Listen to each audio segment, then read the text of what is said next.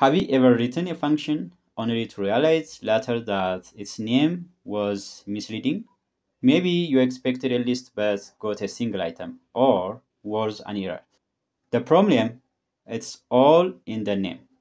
In this video, we are diving into the subtle but critical difference between singular and plural function names in Python, and how following the Python's style guidelines can save you from frustrating bugs. Imagine you walk into a store and ask for apples. You expect multiple apples, right? But instead, the clerk hands you just one apple. Confusing. That's exactly how misleading function names work in Python. In Python, function names should clearly indicate what they return. A function named getUser should return a single user, while getUsers should return multiple users.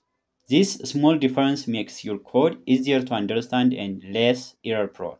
Look at this function getUsers. It sounds like it returns multiple users, right? But it actually returns just one user. If someone mistakenly loops over it, expecting a list, they'll hit a type error. To avoid confusion, always follow these best practices from Python style guideline. If a function returns a single item, name it in the singular form. If it returns a list or collection, use the plural form.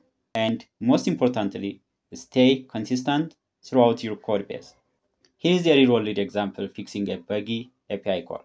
A developer is working with a web API that provides user data. They initially write fetch users function, and they try calling it and looping over the result. This function, which suggests it returns multiple users, but the API actually returns just one user. This mismatch leads to errors when looping over the result. So the developer renames the function correctly to user. Now the function name correctly represents what it does. In computer programming, clarity is king. A simple function name change can save you hours of debugging. So next time you name a function, ask yourself, does the name match what it returns? Stick to singular for one item and plural for collections, and your code will be cleaner, clearer, and easier to maintain.